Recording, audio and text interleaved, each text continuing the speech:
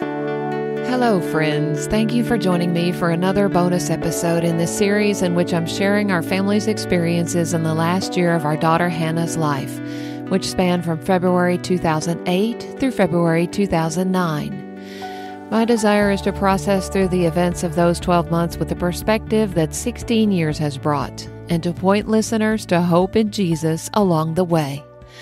I'm grateful you've joined me. This is bonus episode number 99 Right on Target, September 15, 2008.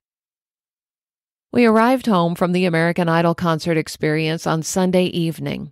The remnants of Hurricane Ike had blown themselves out, and so had the storm in my mind, at least somewhat. Monday brought our regular clinic visit for blood work and some much needed reassurance that things were going well.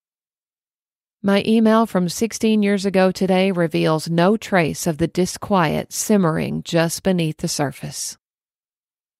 Good news Hannah's counts were high enough today for her to start her fourth round of chemo this week. This is the first time she has actually been on schedule to take it when she's supposed to. Should be a five day on, 23 day off schedule. We've always had to wait for her platelets to get high enough for her to start back, but they were right on target today. So she will take her first dose Tuesday evening and continue through Saturday evening.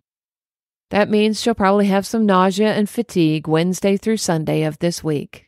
Last month was not too bad, though, so we are hopeful that this month will be even better. Please pray that the side effects will be minimal and won't interfere with school too much. After this week, she'll have just six more rounds to go.